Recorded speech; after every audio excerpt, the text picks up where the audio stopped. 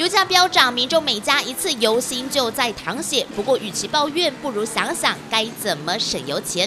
从事汽修工作的叶老板表示，省油可以分成静态和动态，像是检查胎压、定期保养；动态就是养成良好的开车习惯，避免猛催油门，就可以节省百分之十的油耗。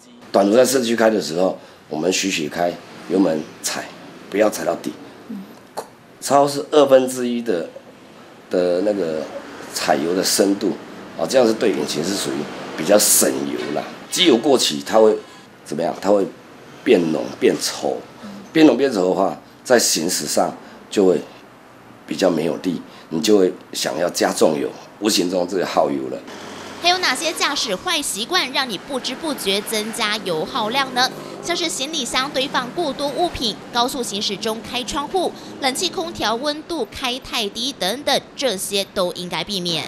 汽车吃多少油就加多少油，你如果每次用满载的方式在行驶的话。这样也会造成你无形中也是不必要的重物。加油的时候最好是在早晨或是晚上，因为是热胀冷缩的原理，哦啊会加比较多一点。